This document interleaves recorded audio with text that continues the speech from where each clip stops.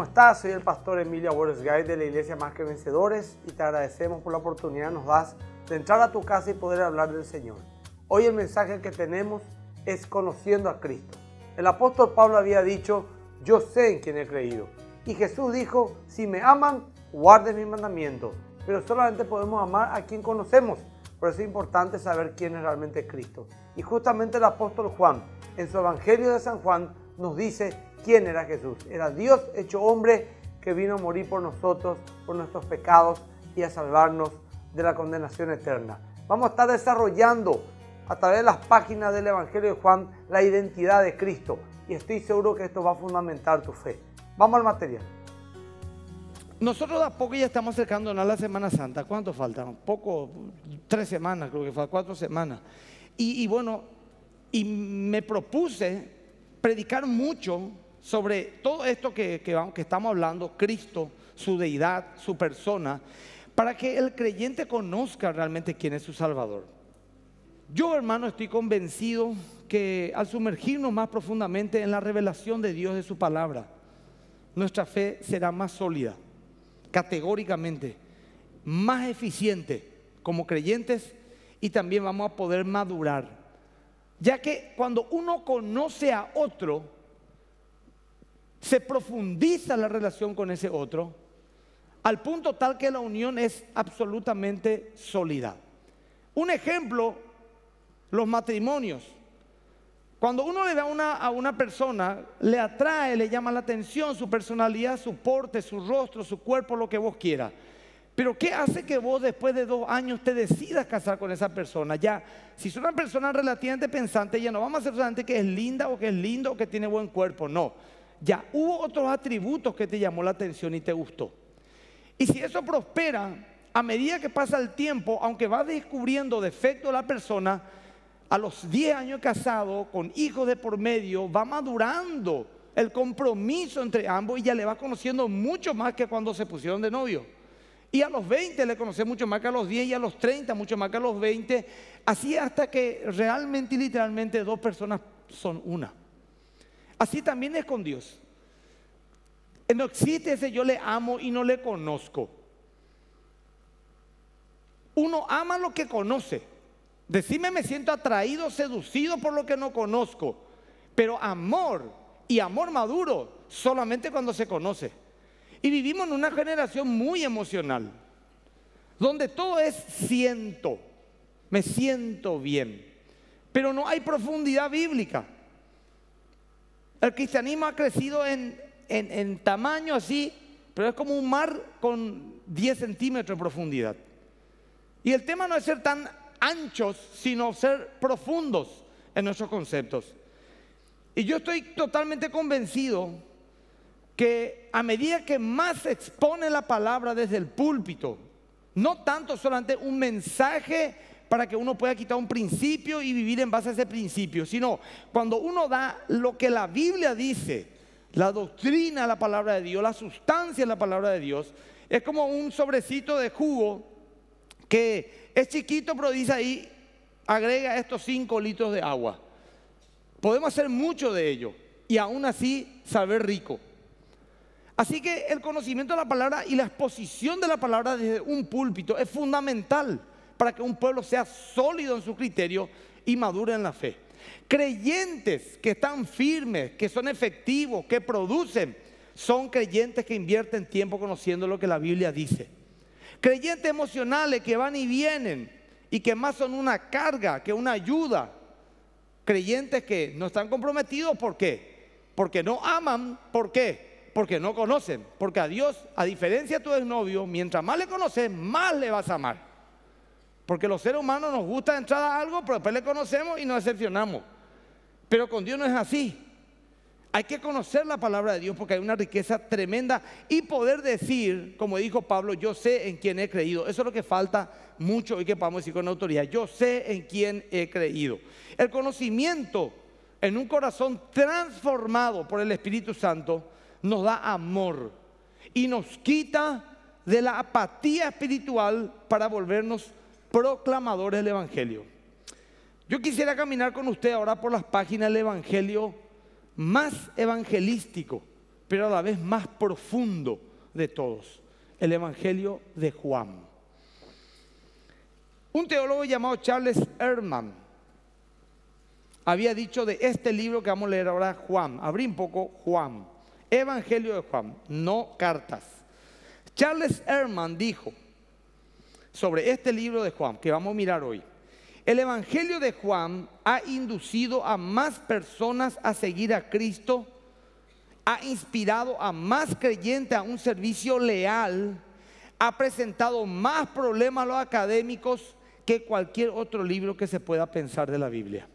Este libro que hoy vamos a investigar, y si te, llevo a dar la punta al ovillo para que vos vayas tirando y, apasionándote por él, te va a hacer ser una persona evangelística, que significa, te va a gustar ganar almas, te va a inspirar a ganar almas, te va a ayudar a ser profundo en tus criterios, te va a ayudar a ser una persona con un servicio leal a Dios más que cualquier otro libro de la Biblia. El domingo pasado estuvimos hablando de Jesús, el verbo o la palabra de Dios. ¿Se acuerdan? Lo que estuvieron se van a acordar de qué estamos hablando. Si no, pueden mirar la predica anterior. Jesús, la palabra de Dios. Habíamos dicho que la palabra de Dios era, en el contexto del Antiguo Testamento y de los hebreos, la palabra de Dios era el brazo ejecutor de la voluntad de Dios.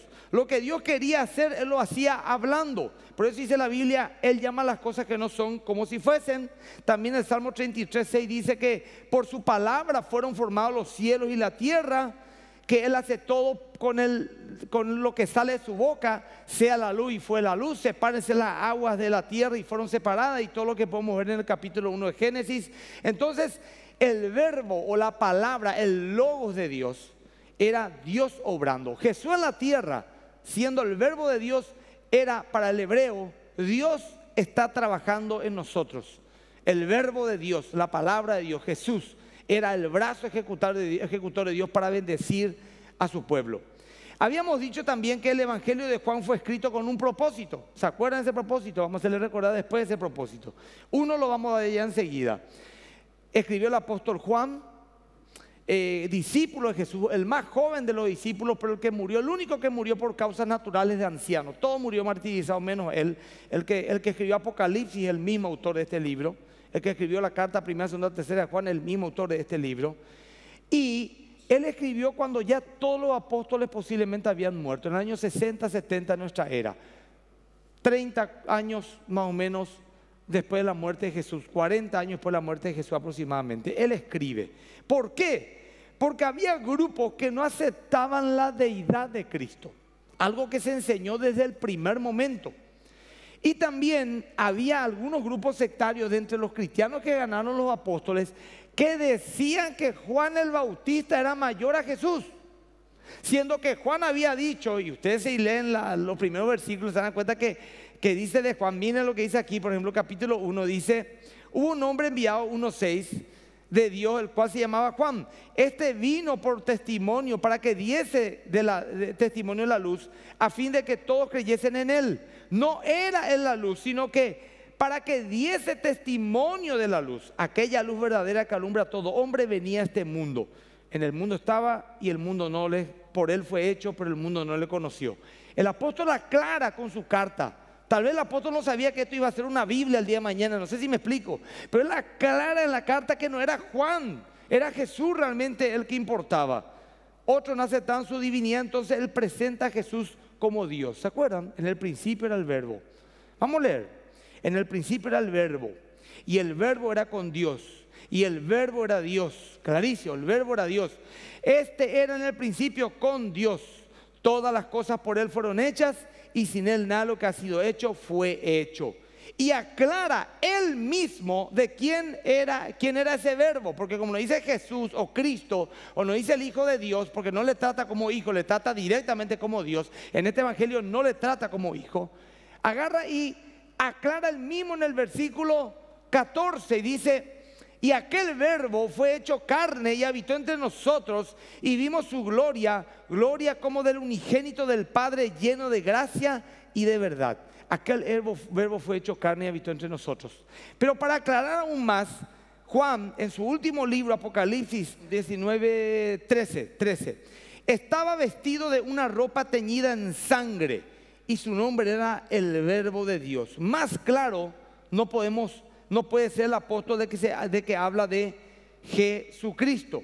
Entonces, ese era uno de los motivos por el cual él escribe la carta. Dijimos también que el libro de Juan era el más espiritual y profundo de toda la Biblia, ya que presenta a Cristo, a Jesús como Dios. Dios, entre muchas otras curiosidades podemos ver esto. Por ejemplo, el versículo más conocido de la Biblia y considerado el mini evangelio está en este libro registrado, palabra de Jesús, Juan 3 y 6, porque de tal manera amó Dios al mundo que ha dado a su Hijo unigénito para que todo aquel que en él cree no se pierda, mas tenga vida eterna. Hasta el creyente más, más niño espiritualmente posiblemente sepa de memoria ese versículo. Y este versículo a millones le atrajo hacia Cristo. Está en este evangelio. Este evangelio está centrado en la palabra, en la palabra de Cristo y en sus señales como Dios y Mesías. Todo el evangelio trata de hacernos entender que Jesús era el Mesías, el Hijo de Dios, el Dios hecho hombre. El rasgo característico de Juan es, miren esto, esto es tremendo. ¿Cómo calculas esto? Es el número 7 y sus múltiplos. Por ejemplo, ¿qué es lo que es múltiplo? 7, 14 es múltiplo de 7, pues 7 por 2, 14, 21 es múltiplo de 7, pues 7 por 3, 21, etc. Vamos a ir mirando eso después. Pero el 7, a lo largo de las escrituras, es el número de perfección y plenitud de Dios y van ligadas al número de Dios. Algunos dicen que Dios es el uno, representa a Dios porque dice el Shema, dice, oye Israel, Jehová uno es, dando a entender que era una unidad. Otros, otros dicen que es tres porque el Padre, el Hijo, el Espíritu Santo. Pero está eh, totalmente ya eh, consensuado que el número que representa a Dios es el siete. ¿verdad? El del hombre es el seis, porque está ahí nomás de Dios. Por eso que Da Vinci cuando, cuando pinta ya casi tocando el dedo de, Adán, esa famosa pintura, ¿verdad? Pero no tocando. Y un poquito más arriba el hombre, ¿verdad? Porque Dios le hizo su imagen y semejanza. Pero fíjense, Génesis 2, 1 al 3, lo que dice, para que ustedes vean cómo desde ahí ya parte el 7 como un número especial de Dios. Dice, fueron pues acabados los cielos y la tierra y todo el ejército de ellos. Y acabó Dios en el día séptimo la obra que hizo y reposó el día séptimo de la obra que hizo. Y bendijo Dios el día séptimo y lo santificó porque en él reposó de toda la obra que había hecho en la creación. Y de ahí vamos y vemos ya los siete espíritus de Jehová. Y el número siete insistentemente se refiere mucho a Dios. Esto, esto para cuándo una novedad, para cuánto una novedad es lo que estoy diciendo. Interesante, estamos aprendiendo. Bueno, entonces Juan escribe su evangelio centrado en siete milagros, siete milagros, o señales que había hecho Jesús en público, siete señales. Miren, lo importante no son los milagros en sí, es lo que quería darle fuerza, era a revelar que Jesús vino como el vino nuevo, como el hombre nuevo, como la luz del mundo, como el agua viva, como la resurrección, porque todas esas palabras están constantemente apareciendo en este Evangelio. Estos siete milagros narrados son, te lo leo nomás porque no vamos a leer todo, ¿verdad? En primer lugar, la transformación del agua en vino en Juan 2.9. A ver, contá. La curación del hijo noble, 4 al 46. La curación del paralítico en el estanque de Bethesda, en el 5, 2 al 9.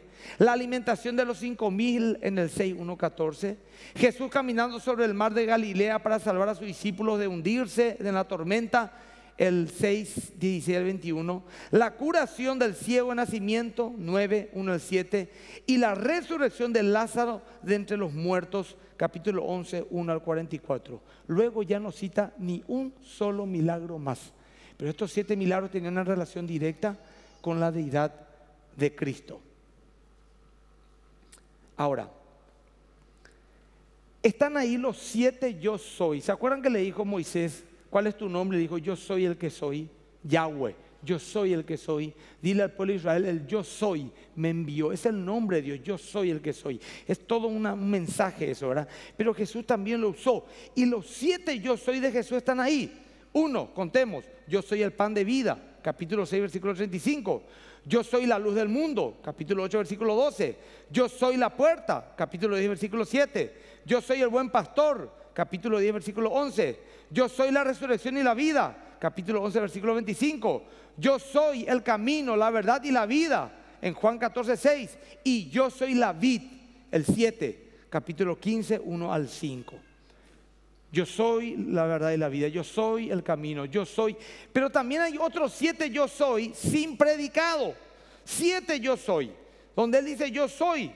En el 4.26, en el 6.20, en el 8.24, en el 28.58, el 13.19 y el 18.5 y 8, donde dice la última vez dos veces, yo soy, yo soy. Una de ellas es cuando dijo, yo soy, y cayeron todos los soldados hacia atrás en su presencia. O antes que Abraham fuese, yo soy. Si vamos a hablar bien el español, debería decir, si antes Abraham fuese, yo fui.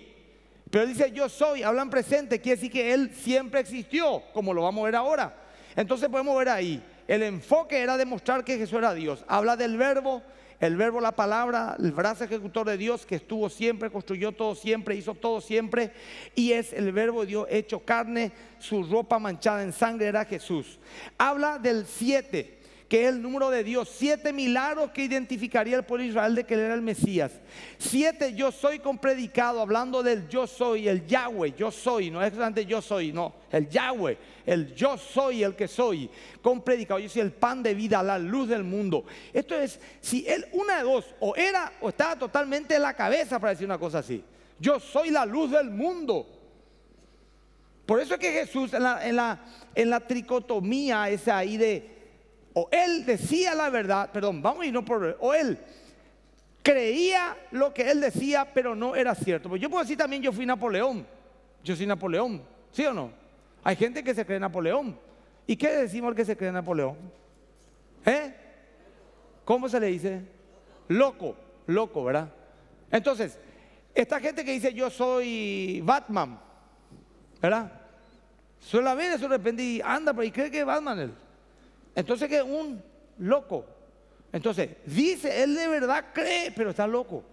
La otra es que es un mentiroso. Dice y sabe que miente. Y el tercero es que sea cierto.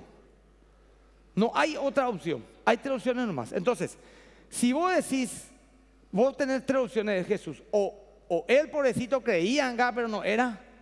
Y no estaba bien de la cabeza. Lo cual se contradice porque un hombre tan profundo tan inteligente, tan sabio, no puede ser un loco. Me explico lo que te digo. Pero es otro tema. O mentía o era verdad lo que decía. Entonces vos a Dios le puedes llamar, a Jesús le puedes llamar de tres maneras nomás. Puede decir vos, tengo el concepto de que era un loco, porque mira todos los disparates que dijo. Tengo el concepto de que era un gran mentiroso, pero grande en serio porque mentía grande. Soy la luz del mundo, el camino al Padre, o sea, grande. O puede decir, yo creo que él todo lo que decía era verdad y dijo la verdad. Entonces, hijo de Dios, es Dios hecho hombre. Con Jesús no hay puntos medios. Con Jesús no hay puntos medios. Ahora, el capítulo sexto que habla del pan de vida, la palabra griega traducida para pan y panes aparece 21 veces. El múltiplo de 7, 7 por 3, 21. También en el discurso del pan de vida aparece siete veces descendió del cielo. Impresionante. En el libro de Juan nos muestra las palabras de Jesús donde nos dice la voluntad número uno del Padre. Si alguien te dice, te pregunta, a ver, ¿cuál es lo que es la voluntad de Dios? La voluntad general de Dios. Lo que él, ¿Para qué es lo que nos creó? ¿Para qué lo que, para, para qué? Juan te responde. O sea, Jesús registró la palabra de Juan. El capítulo 6, versículo 68. Perdón, capítulo 6, 39, perdón, y 40. Le pido a Dios que te ilumine porque está la palabra expuesta. Para el vivo espiritualmente es un alimento sólido. Al muerto le puede resucitar. Juan 6, 39, 40 dice, y esta es la voluntad del Padre que me envió esta es la voluntad del Padre que me envió. Que de todo lo que Él me diere no pierda yo nada, sino que lo resucite en el día postrero. Y reitera, y esta es la voluntad del Padre que me ha enviado. Que todo lo que ve al Hijo y cree en Él, tenga vida eterna y yo le resucitaré en el día postrero. La voluntad de Dios, ¿qué es entonces? La salvación del alma de la persona. La voluntad máxima de Dios, Él se propuso llevarte al cielo. No se propuso hacerte rico, hacerte lindo, ya lo corroboraste seguramente y te, lo confirmo. ¿verdad? No era hacerte eh, el más churro, el más famoso, no. La voluntad de Dios es esto, llevarte al cielo y va a hacer lo que tenga que hacer. De hecho ya lo hizo, murió en la cruz por vos, pero te va a, por torpe que sea, dice la Biblia, no te va, o sea, te va a poner, algunos funcionan una bendición. Dios le bendice y el tipo se conecta con Dios, se, alegra, se goza. Otros se apartan porque demasiado bien le va. Pues. Y no va a desperdiciar su vida en la iglesia, siento que le va tan bien en la vida. Entonces hay que enviarle problema.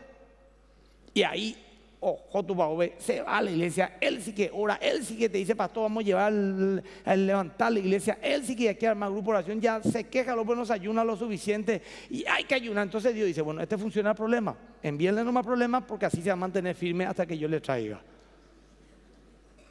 ¿Verdad? Hasta en la vida así funcionan las cosas. Nosotros mismos con nuestros hijos le motivamos y si no hace caso le castigamos. Y si le castigamos y hace caso, entonces nos damos cuenta que funciona el castigo y le mantenemos disciplinado.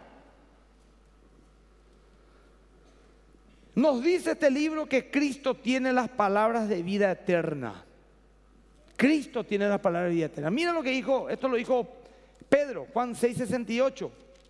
Y le dijo Pedro, entonces Jesús dijo a los doce, ¿queréis acaso iros también vosotros? Le invitó a Jesús a retirarse. Si no te gusta mi onda, toma tu decisión. Le respondió Simón Pedro, Señor, ¿a quién iremos? Tú tienes palabra de vida eterna. El contexto es esto. No voy a leer todos los 68 versículos, pero el contexto es, sanó mucha gente y demasiada gente comió gratis. Le dio a los cinco mil. Y Jesús se dio vuelta cuando le decía, dijo, yo sé que ustedes me siguen, porque les doy de comer y porque les sano. Pero el que quiere seguirme de verdad, tome su cruz cada día y sígame. Paren muchachos, vamos a escucharme. Vamos a bien esta predica. El que quiera seguirme tiene que comer mi carne y mi sangre. ¿Qué significa eso? Va a ser uno conmigo. El que, el que, el que aborrece su vida por causa de mí, la ganará. El que ama su vida más que a mí, la perderá. Ay, ay, ay, empezamos a hacer los cálculos. Conclusión al terminar la predica, a mí no me es negocio seguirte, me voy de vuelta. Dura esta palabra, dice Juan 6, versículo 66, mira tu Biblia, ¿qué dice? Desde entonces muchos de sus discípulos volvieron atrás y ya no andaban con él. ¿Cuál es el número de Satanás? Y acá es justo acá en el capítulo 6, eso es lo que al propósito se hizo. Eso tiene reglas gramaticales y justo, justo, casualmente, capítulo 6, versículo 66, los que retrocedieron. Así que no te vas a olvidar nunca el número de Satanás ese 666 retrocede. ¿Sí? Muy, muy llamativo, muy llamativo. Amén, hermanos. Ese silencio, no sé, yo me decía así, gloria a Dios. no, en serio, pero está bien, ojalá le está hablando a alguien, me imagino, ¿verdad? Miren, ahí Pedro le dice, Jesús le dice, ¿usted quién dice también, muchacho? Miren lo que era el Señor, ¿eh? Él sabía quién era, él no rogaba. ¿Usted quién dice? Entonces yo trato de aprender, de, ¿verdad? Cuando alguien me dice, pastor, yo me quiero a otra iglesia. ¿Y por qué, hermano? Y las predicas que el pastor me encanta. Yo te bendigo. Entonces, nada ya, no hay problema. Y después viene otra vez, pues es que al final te quiero mucho, pastor. Yo te bendigo, vení acá. Ah. Y después otra vez me dice, pastor, yo me voy a ir. Hasta que le tengo que ayudar a decirle, o te, o te queda. Tenés que echar raíces, ¿verdad?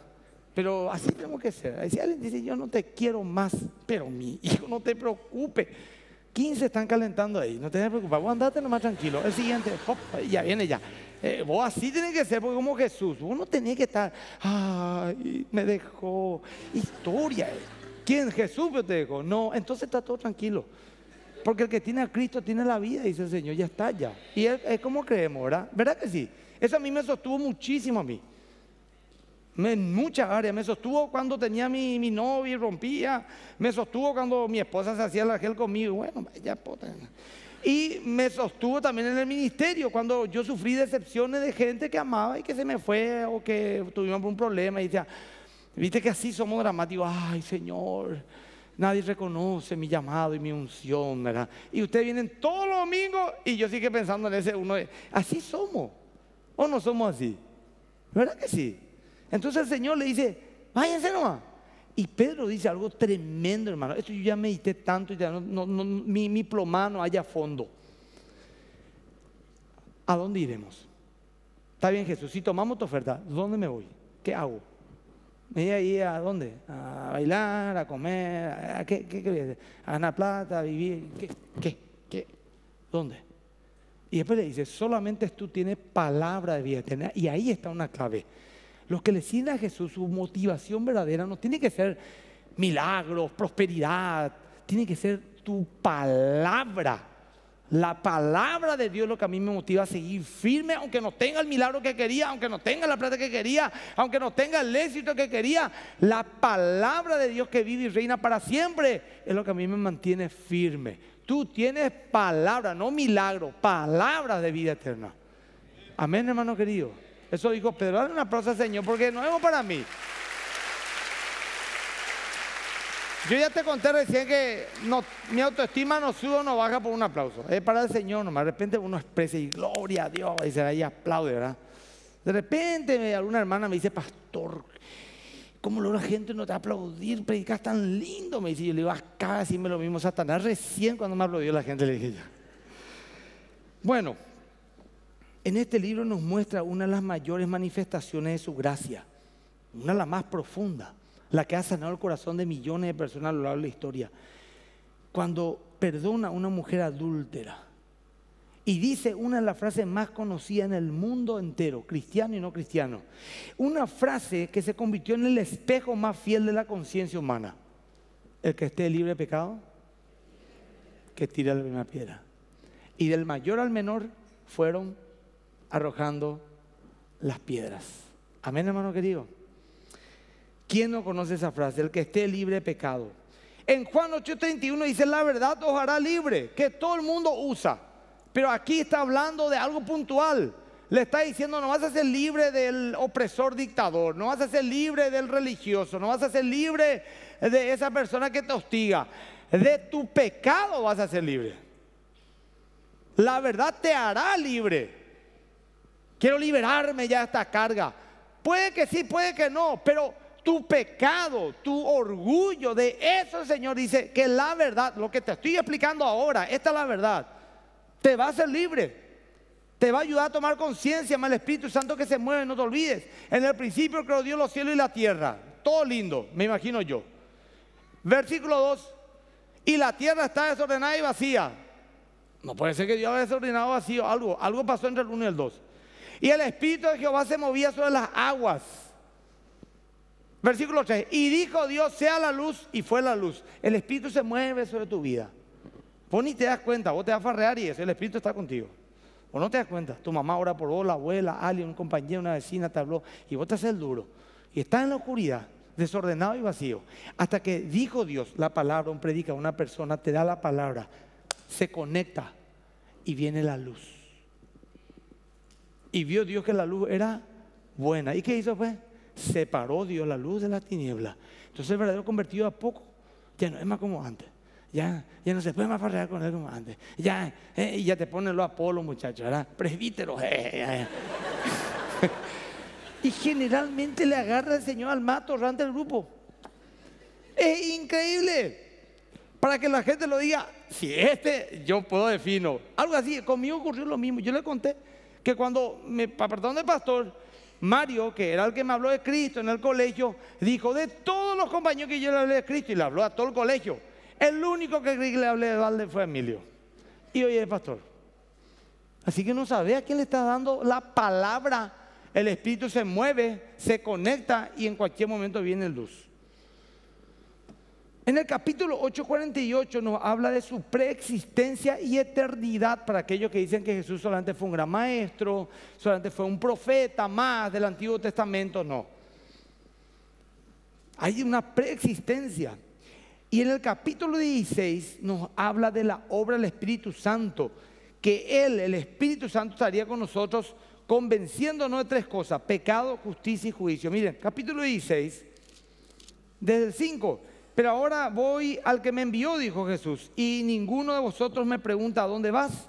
Antes, porque os he dicho estas cosas, tristeza ha llenado vuestro corazón, pero yo os digo la verdad, os conviene que yo me vaya si no me fuese, el consolador, el paracletos, no vendría a vosotros, mas si me fuere, os lo enviaré.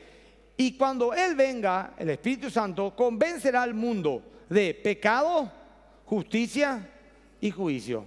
De pecado por cuanto no creen en mí. El pecado básico que lleva toda la inmoralidad, toda la desobediencia y rebeldía es no haber creído en Cristo. Porque al quitar el filtro de la fe, ya todo vale, todo entra. Y lo que vivimos hoy, el relativismo brutal que estamos viviendo en la oscuridad, todo igual, en la oscuridad todo igual. Hasta que prende la luz y ahí puedes darte cuenta de si suciedad, que hay colores, que hay relieves, que hay texturas, que hay eh, una cosa está más adelante de la otra, otra atrás, otra arriba, otra al costado, pero cuando prende la luz, pero cuando está oscuro todo, todo igual, todo igual, todo es negro, todo oscuro. En el capítulo 17, y solamente en este libro, está la oración intercesora por sus discípulos, se encuentra en el capítulo 17.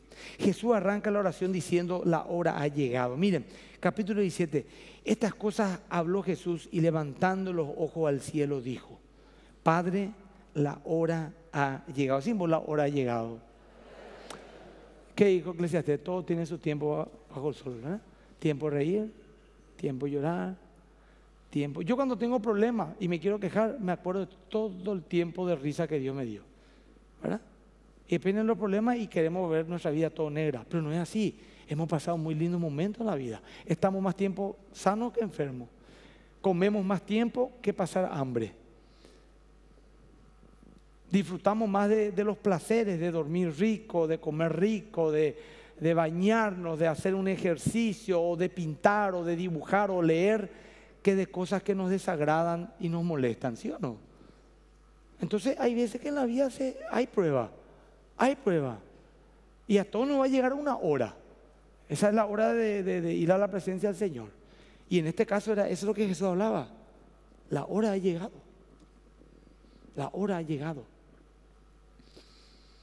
Muchos trataron de matarle a sus enemigos a Jesús. Trataron de despeñarle, trataron de matarle de distintas maneras. Después le entró el Evangelio. Nunca pudieron. Pero llegó el momento en que sí iban a poder. No porque ellos podían, era porque Dios iba a permitir. Y porque era para cumplir un propósito mayor y superior en la vida de Cristo. Así que la voluntad de Dios determina tu vida, no lo que la gente quiera. Si te pasa algo que la gente te hizo, vos tenés que saber, Dios no me permitió.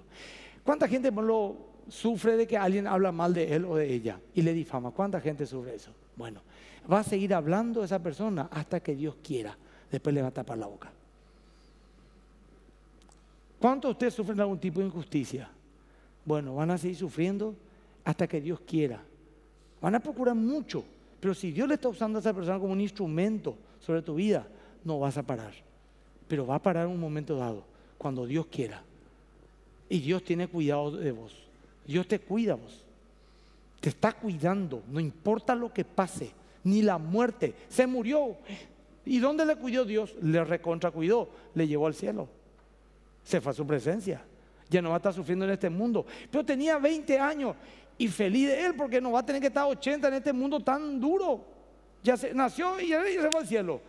Che, pero pastor, eso es duro lo que decís. Depende de la conmovisión con que lo mires. Yo no me quiero morir ahora. Porque soy carnal, pues te voy a decir, mira, soy joven, todavía tengo mucho para dar, eh, quiero verle crecer a mis hijos, ¿qué va a ser de mi pobre esposa y de mis hijos si yo no estoy?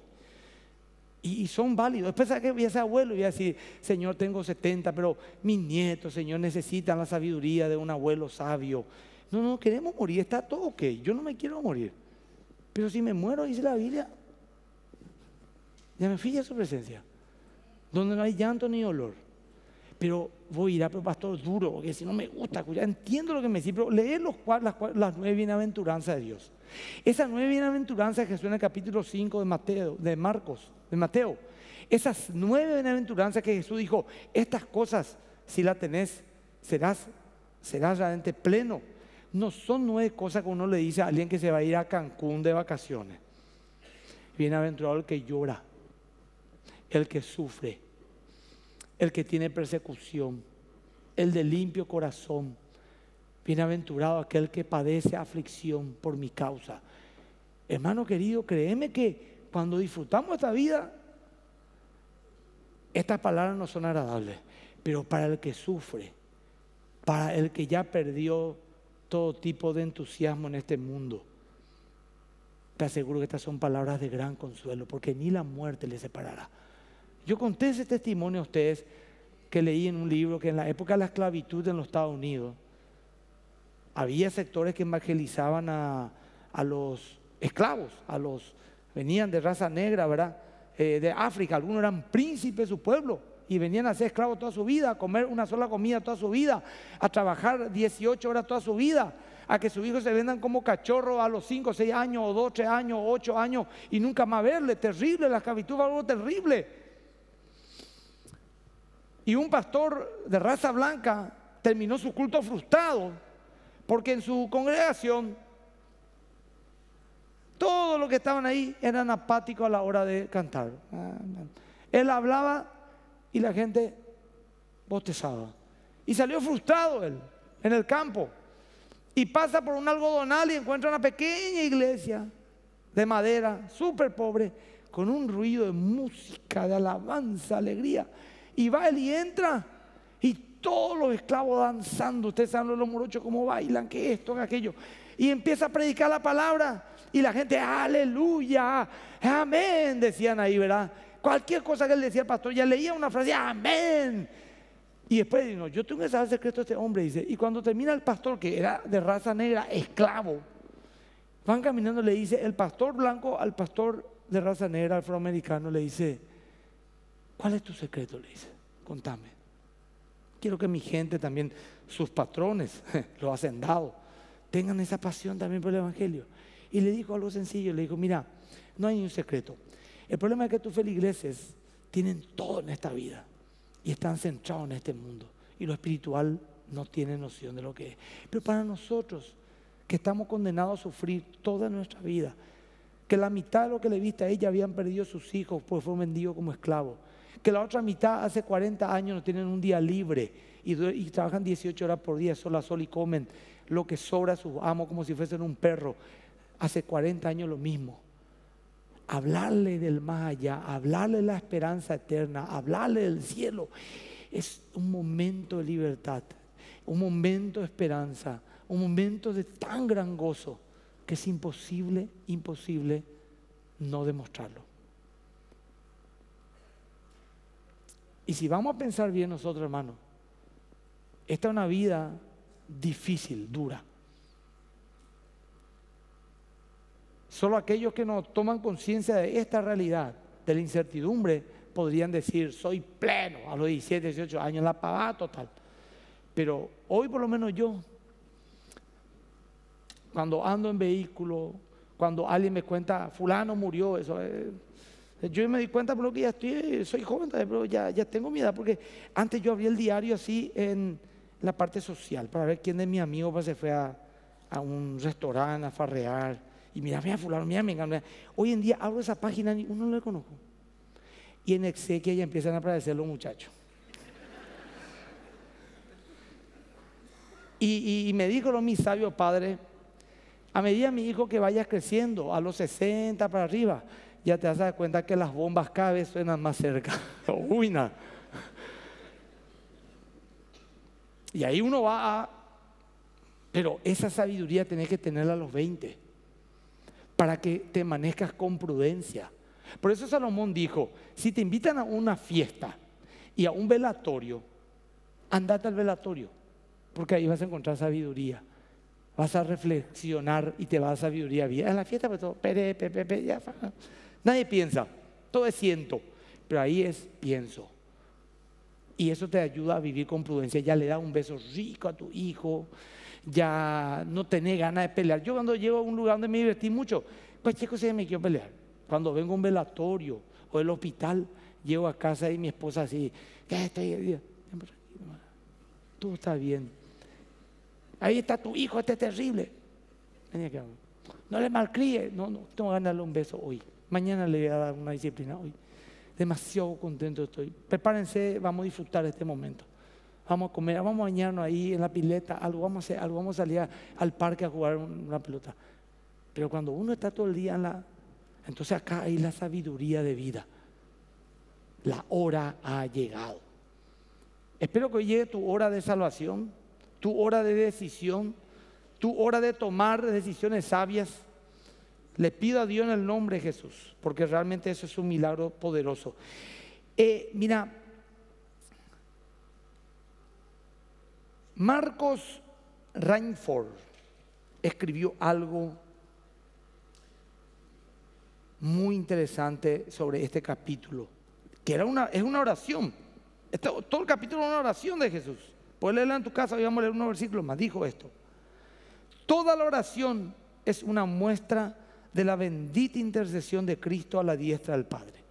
Escucha, no hay ni una sola queja contra su pueblo en toda la oración. No hay una sola referencia a sus fracasos y faltas en esta oración. Habiendo muchas, ni una nombró Jesús. No dijo, Señor, perdona a este pueblo necio que no te sabe honrar. Y al orar por ello está orando por todos nosotros. Fíjate, todas las peticiones del Señor por su pueblo se relacionan con cosas espirituales. Todas se refieren a bendiciones espirituales.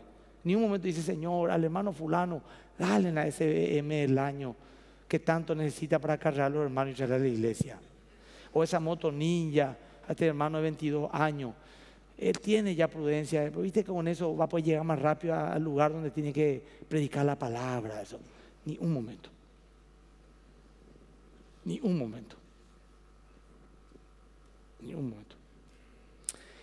Eh, ni un momento dice, por ejemplo, Señor, honrale a mi pueblo dándole riquezas, honores, influencia mundana, ni grandes puestos. Lo cual, de hecho, Dios a mucho acá nos dio, ¿verdad? o no? Nos dio, nos bendijo, vamos a admitir. Es así, se puede gracia, da más de lo que necesitamos. Pero el Señor nos quiere enseñar esto, que todos los días yo lo practico, todos los días lo practico porque si no la codicia del mundo, la vanagloria la vida, el, el deseo de los ojos, dice, nos pueden desviar. Porque vivimos en un mundo hiperconsumista y la ropa, que esto, que aquello, que esto, que tiene que viajar, que tiene que ir, que tiene que venir, que tiene, nos consume.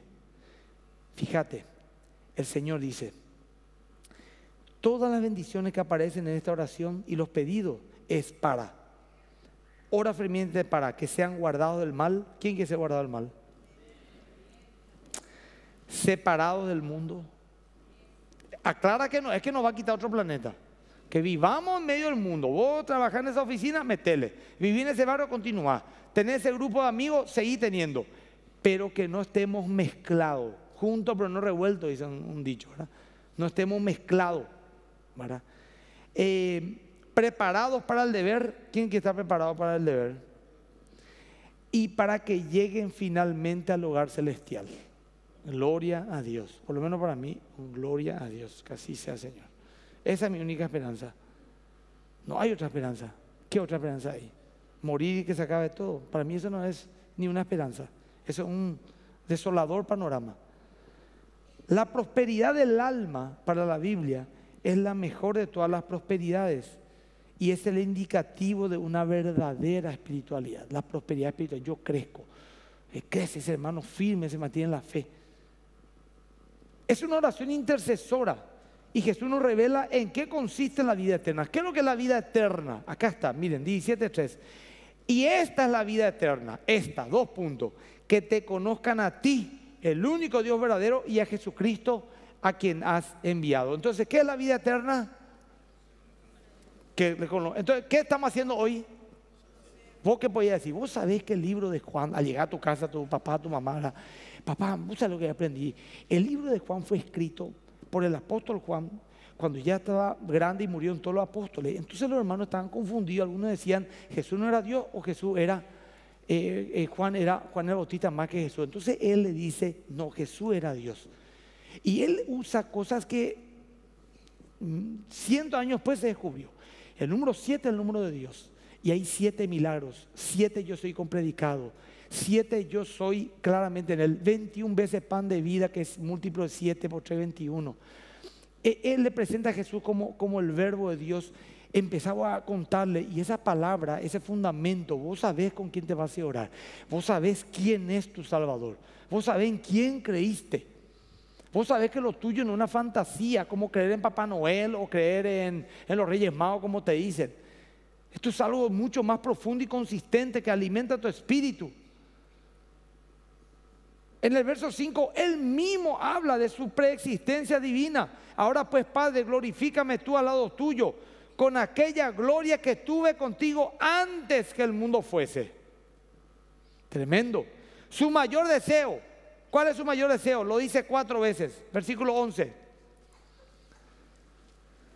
Y ya no estoy en el mundo, mas estos están en el mundo, y yo voy a ti. Padre Santo, a los que me has dado, guárdalo en tu nombre para que sean uno. Insiste en el versículo 21. Para que todos sean uno como, oh Padre, en mí, tú en mí y yo en ti, que también ellos sean uno en nosotros, para que el mundo crea que tú me enviaste. La gloria que me diste, yo le he dado, para que sean uno, así como nosotros somos uno. Yo en ellos y tú en mí, para que sean perfectos en unidad, para que el mundo conozca que tú me enviaste. Bueno, el Señor desea, y vaya esto para más que vencedores también, que toda comunidad de fe que se reúna en cualquier lugar del mundo, sean 10 o sean 50 mil, seamos uno en Cristo en un mismo sentido. Seamos uno. Ese es el mayor desafío y la única oración que muchos teólogos dicen que aún no se cumplió. Porque es cierto, nos peleamos todo de balde. No, no peleamos por cuestiones de carácter, hasta nos peleamos por cuestiones santas. Si vos no crees lo que yo creo, vos ya no somos un verdadero hijo de Dios, sos un hereje. Este, entonces, eh, hay que tener mucha madurez, hermano querido, mucho, mucha sanidad en el corazón. Y te digo eso porque estoy caminando en esa etapa. No es fácil, no es fácil entender que aquel que tanto te critica, pero predica a Cristo, es también tu hermano. Es complicado, hermano querido. El que dice vos sos es tu hermano. A veces alguno dice, bueno, la Biblia dice que el que odia a su hermano no tiene vida eterna permanente en él, el que aborrece a su hermano. Entonces, ¿qué hace? Soluciona el problema. Si él me hace eso, no es mi hermano entonces realmente. Es un inconverso. Bueno, entonces ya está habilitado para odiar, ¿me No. Falla. ¿Sabe como quién? Como vos también falla, como yo fallo. Así es el tema. Pero dice la Biblia, en cuanto dependa de ti, trata de estar bien con todo el mundo. Y eso no será acomodado. Eso significa no busques problemas. Pero hay gente que dice, ay, qué lindo día, no hay ni un problema, quiero uno. Y ya abre su, celular. Y arma un desastre, como el chancho cuando entra en el jardín, revienta cualquier chat, cualquier cosa, le echa. Es un desastre, alma. Eso no tiene el Espíritu de Dios. Luego el capítulo 17, y voy terminando, ya habla de su arresto, de su ejecución, de su gloria donde se destacan dos personas, Pedro y el discípulo amado. ¿Quién era el discípulo amado? Juan. ¿Quién Juan? El que escribe. Pero esta es una particularidad. Él escribe el libro, pero él no aparece su nombre en ninguna sola parte. Solamente hace referencia porque él relata lo que vio, porque eso fue, vos viste, todos ya escuchamos, pero vos viste, escribí este libro, este evangelio. Porque Marcos le escribió, Pedro le dictó. ¿Verdad?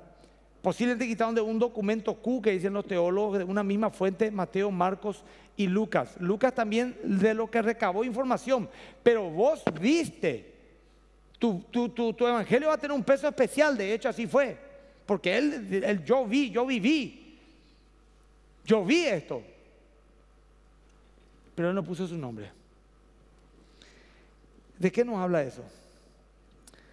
de que él era un hombre humilde y quería que todo esté centrado en Cristo. Le revienta su tocayo Juan el capítulo 1, Juan el Bautista, él no era, Él predicó, pero no era. No se confundan. Y el otro Juan, el único apóstol que le endiosaban, porque nos cuentan que él, que él dice, ya era viejito y le mudaban de lugar a lugar, porque dice, cuando en la iglesia se peleaban, por él era el discípulo del amor. Porque él todo es conciliar, fíjate, sus cartas, amor, amor, amor. Y dice que era viejito y le traían así, no había así, el rey le alzaban, y dice que había en una congregación peleas, discusiones, y decía, por ejemplo, el decía, bueno, vamos en hito acá. Y le traían a él, y tú le colocaban, ancianito. Y su presencia hacía que todo el mundo llore, que todo el mundo se pida perdón. Él no tenía que hablar. Casi como un amuleto se le llevaba acá para allá, de la unción que tenía. Él sabe quién fue para vos, para vos que hizo así, eso yo no voy a poder ser, porque yo soy muy temperamental. Bueno, él era Bonaerges con su hermano, el hijo del trono, el que pidió fuego sobre todos los samaritanos. Y el Señor le dijo, vos no sabes qué espíritu pertenece. Y el Señor que le hizo en 50, 60 años fue el apóstol del amor. Así que el más calentón temperamental acá, puede ser el día de mañana, métanle en el chat para que haya paz en este chat. Invítenla al asado para que ahí haya alegría. Pero hay creyentes que llegan y ya arman disturbio. No tienen sabiduría. Mira lo que es la diferencia para agarrarle y en ese punto dar fuerza. ¿Por qué es importante el estudio de este libro? ¿Y por qué es importante lo que hoy estoy diciendo? Y miles van a escuchar. ¿Por qué? Porque este libro se escribió con un propósito bien específico. ¿Cuál era? Demostrar que Jesús era Dios y nos dice el capítulo 20, el verso 31, el segundo motivo. Pero estas se han escrito para que creáis que Jesús es el Cristo, el Hijo de Dios, y para que creyendo tengáis vida en su nombre. Por eso es que los grandes evangelistas del siglo XX y todos los siglos, y más todavía después del siglo XX, los grandes, Billy Graham y todos ellos, donde sus cruzadas se iban, ellos te dan un evangelio de Juan porque esto fue escrito para que creamos. Pero la paradoja es que a la vez que es el libro más evangelístico, le da un tipo que nunca en su vida leyó la Biblia, a la vez es el libro más profundo y que más problema, entre comillas, le causó a los grandes teólogos poder estudiarlo. Al mismo tiempo, sencillez, profundidad. Un libro poderoso, escrito en alguna cueva, en algún lugar de Medio Oriente, ¿Querés creer en Cristo con más fuerza? Estudia este libro. ¿Querés ser más maduro espiritualmente? Estudia este libro. Amén, hermanos. Bueno, si alguno por ahí dice, ¿qué aprendiste en la iglesia? Muchas cosas aprendí. Porque la Biblia dice que Pedro dijo, en tu palabra, palabra de vida eterna, palabra de vida eterna. ¿A dónde iremos? Tú tienes palabra. No se van a acordar toda la información que di, por supuesto, pero en su espíritu va a quedar registrado. Y cuando necesiten, Dios le va a dar como un arma. Por ejemplo, alguno, uno está un marido y dice acá, me encantó lo que dijo el pastor, dice que él era el más temperamental, pero se volvió el más amoroso de todos. Y posiblemente va a decirle a su esposa, mi amor, ayúdame a yo ser un Juan, el hombre más amoroso que pueda haber en este mundo. Por ejemplo, muchos dicen, yo quiero que mi hijo sea más que Messi. Yo quiero que mi hija sea más que Federer. Yo quiero que mi hijo sea el presidente de la República. ¿Sí o no? Vos escuchaste a un papá que dice, yo quiero que mi hijo sea el hombre más manso de este mundo. Quiero que sea el hombre más amoroso de este mundo, la mujer más servicial del mundo. Poco se escucha. ¿Te das cuenta en nuestro centro? ¿Por qué no oramos un poquito? ¿Sí? Tenemos cinco minutos, ¿sí? Pero ahí quietito. Inclinen su rostro. Vamos a sellar esta palabra en oración. Vamos a orar y vamos a hacer que Dios así nos bendiga a través de la oración. Padre, gracias te damos por tu palabra que nos ayuda a conocerte mejor. Tu palabra es bendita, Señor, y yo quiero amarla. Te pido, Señor, que me des entendimiento para comprender las escrituras. Que tu Espíritu toque mi vida, mi familia. Bendice mi hogar, bendice mi familia y ayúdame a parecerme cada día más a ti y a conocerte cada día más. Gracias Señor por este tiempo. Te bendigo en el nombre de Jesús. Amén. Si Dios permite, nos volvemos a ver el próximo domingo.